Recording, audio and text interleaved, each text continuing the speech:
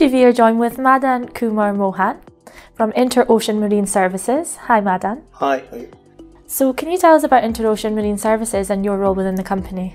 Yeah, uh, InterOcean Marine Services is a leading service provider for uh, marine oil uh, consultancies for rig moves and uh, jackup moves for the offshore industries. And uh, I'm an engineering manager who's leading the team of uh, naval ops and uh, structural engineers.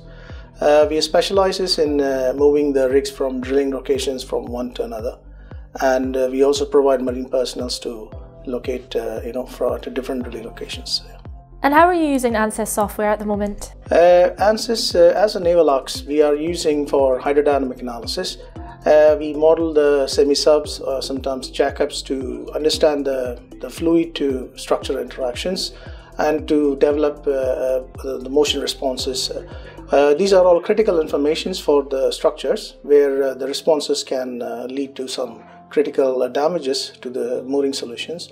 And some of the structures are dependent on the moorings alone.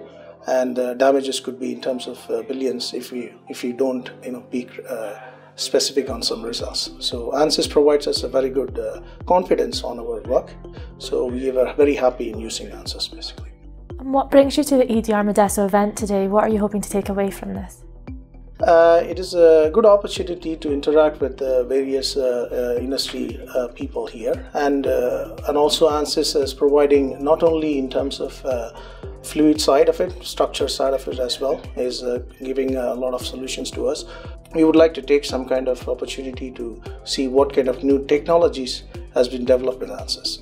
Thanks, Madhan. Enjoy the event. Thank you very much.